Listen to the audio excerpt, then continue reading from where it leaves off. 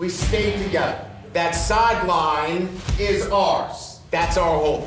That's where the brotherhood is. That's where we lift everybody up. And today, let's have a resounding day. You have to do your job better than you've ever done it in any other game because it is the ultimate do your job game. And at the end of the day, it is also the ultimate brotherhood game. Bring it up. Let's go. Come on. Sounds fun today.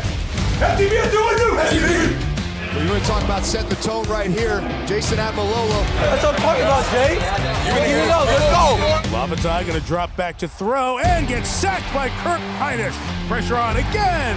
And Lavatai is sacked this time by Jordan Botelho. Let's go. Let's go. Maximize. Let's go. Let's go. Let's go. Buchner pulls it, chased by Diego Fagot, and he got there for the first down. Third and five, going for Mayer. Michael's got it for the first down. Oh, my God.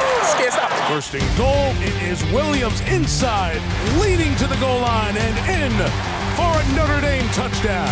Really nice job by this Notre Dame front, applying the pressure, really pushing back this offensive line. Hey, y'all keep working, baby. Let's go. Irish trying to convert on third and seven, and Coan fires to Austin, who's gone. Kevin Austin will take it the distance. Notre Dame touchdown. Let's go. All day, boy. Let's keep going. Let's keep going. Let's keep going. Let's go. Let's run it up. Run it up. You've done a great job in the first half. It's a new game now. It starts a new game. Everybody locked in, playing together, trusting each other, doing their job, and play great defense. Let's go to work. This defensive line is beginning to take over this game. Lacey, Cross, and Hinish. Every time the fullback's involved, one of those three are waiting to hit him. Our line option, ball free in the end zone. Safety. Kurt Hinish was there, forcing the pressure. The Irish will get two. What a day for Hinish. Feel that Notre Dame's picking up the tempo a little bit on offense. Coan going to Mayer. First down, he'll scan and come back and check it down. Williams in the open field. The magic of Kyren Williams. Took nothing to a gain of 14 from the 20. Here is Williams bouncing to the outside, accelerating into the secondary, into the end zone. Williams, did he have possession over the goal line? Yes.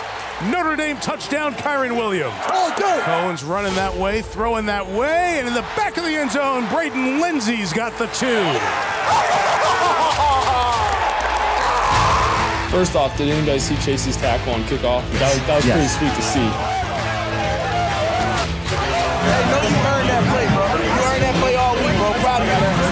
For the next few minutes is what's at the root of this rivalry the institutional respect that carries on through generations. I don't know if you guys looked up at the scoreboard, but Navy did not score a touchdown today.